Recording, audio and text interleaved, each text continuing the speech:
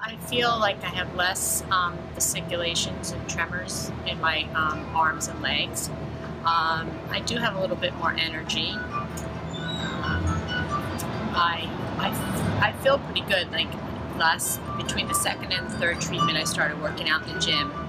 First time I went, came home and I was totally exhausted. But now that I've been doing it on a more regular basis, I have more energy. I don't tire as easily.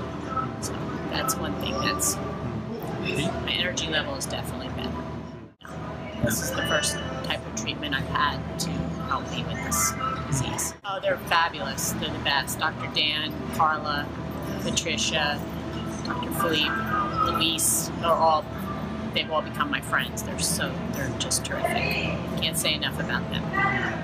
I would definitely recommend it to people. I've, I've already recommended it to somebody that I met in the airport with MS and I've told other people back home. Um, I told my brother about it who has diabetes to consider it. Um, so yes, I have recommended it and given out the brochure to a couple people already.